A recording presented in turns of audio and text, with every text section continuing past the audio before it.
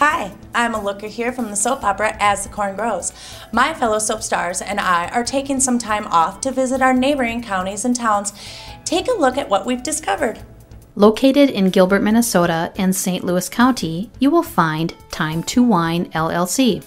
Bored with retirement, Linda Sauceman decided to take up the hobby of wine and beer making.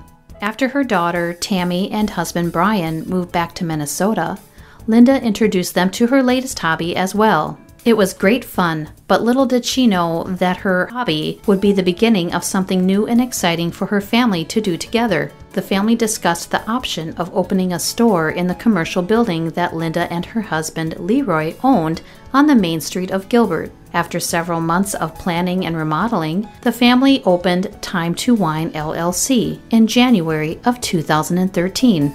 Linda and Brian make a great team. Brian cares for the wine and beer kits. He does everything to help the customers from fermentation to the bottling process. Linda manages the bookwork and office duties. Today, Time to Wine's main objective is to educate the customer on the product that they are making. It is important to them to ensure that their customers understand the whole process and have fun with their new beer or winemaking hobby.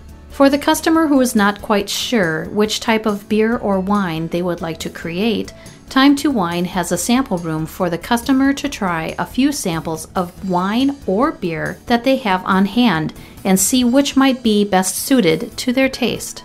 Family owned and operated, Time to Wine prides itself on helping their customers make great products at reasonable prices and have fun doing it.